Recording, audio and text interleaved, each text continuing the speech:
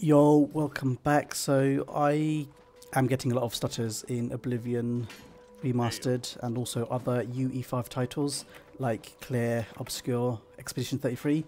Um, there's an easy fix. Um, this works with AMD. I've not tested NVIDIA and I am using a 9070 XT and as you can see the stutter is really bad even though the 9070 XT is really good.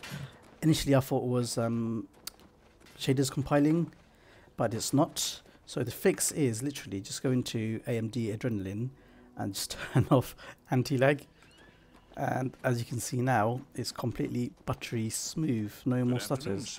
So I've been playing with a lot of stutters all this time and once I've found out that this is all you had to do. Yeah, I was impressed. so now there's no issues with the game anymore. It was anti-lag all that time.